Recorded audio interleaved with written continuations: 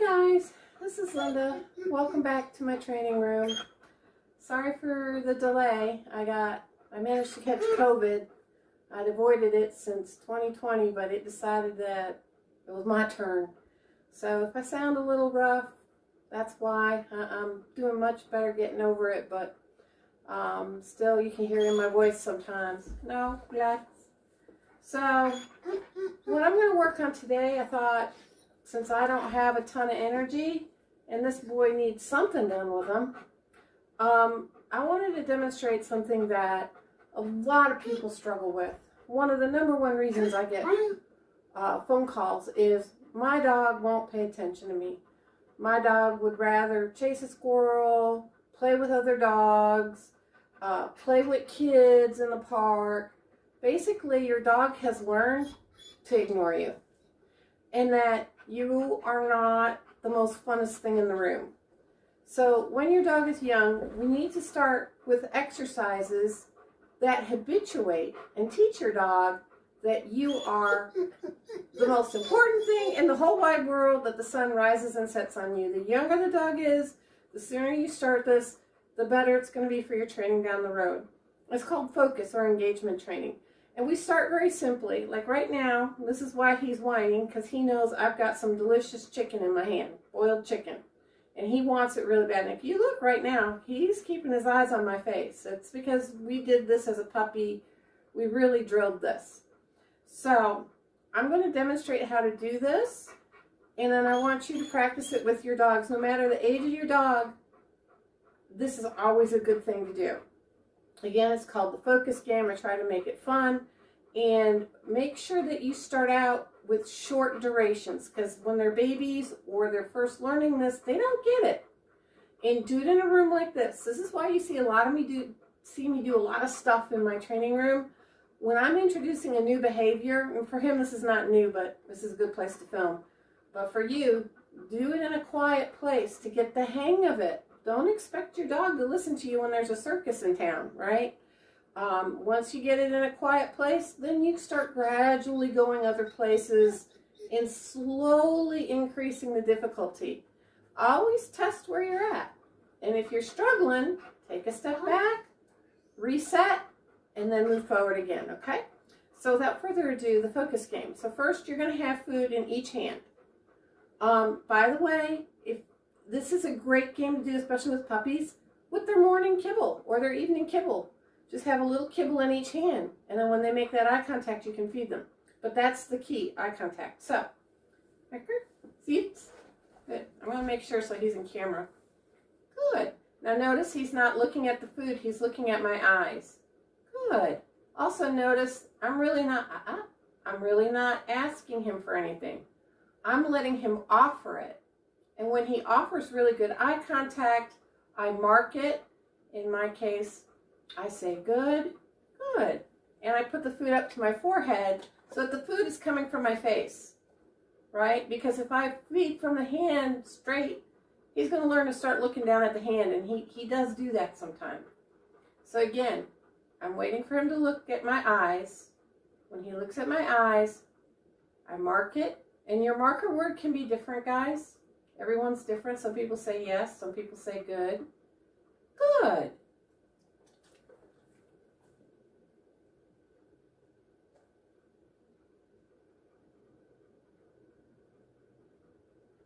Good. Now what's going to happen, see he's looking away. That was good. I'm glad he did that. He looked away for a second. So I just got still and I wait for him to reestablish eye contact. I don't beg him. I don't plead with him. He looked away. He got nothing for it. Have a leash on your dog so they don't wander off. And you can just step on the leash with your foot if you need to. Good.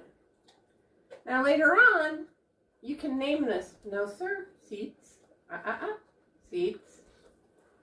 Good. Did you see how I looked at my hands? I made sure he got nothing for that.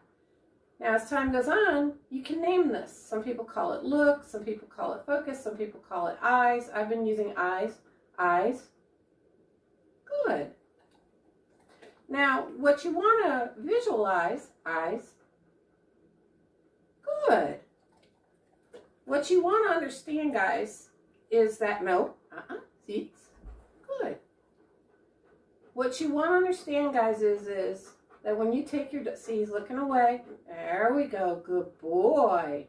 When he regains con eye contact, I make sure, ah, uh, uh, he's looking away. That's good. I'm glad he's doing this so you guys can see what it looks like when they're not perfect.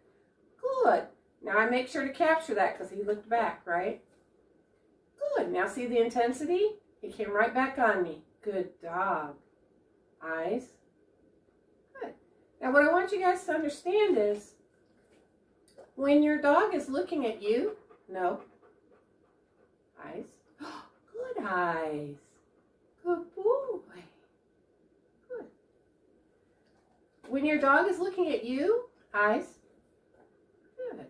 When your dog is looking at you, he's not looking at a distraction. When he's not looking at a distraction, he's not paying attention to it. When he's looking at you, he is paying attention to what's going to come from you next. And down the road, what's going to come from you? Uh-uh, no sir. Good. Eyes. Good. So we got to build duration. You know, he can go for about 15 seconds pretty good, and then he starts checking out. But we want to build up on that. Good. Good. Now notice, guys, I alternate right hand, left hand. Because what's going to happen if you always feed with the right or left, dog's going to figure that out. He's going to start staring at your hand that you feed from. So make sure that you always switch your hands up. Eyes. Good. Good boy. Good. So slowly but surely. Ah, teeth. Good. Good boy. Eyes. No. Good. Ah, no. Good. No stealing. Now, if they lick like he's licking right now, when they're baby puppies, let them lick, okay? Mind you, this dog is more advanced. So I'm going to let him do this for a second so you can see. But I don't let him get it. I keep the food in my hand. See? He likes this chicken. It's really good. eyes? No. Good eyes. Good eyes.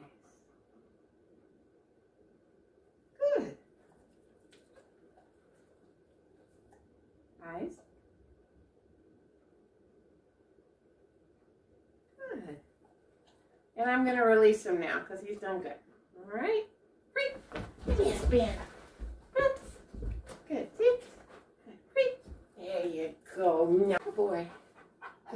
No, Mr. Ants in the Pants here. I haven't worked him very much the last few days because I've been pretty sick.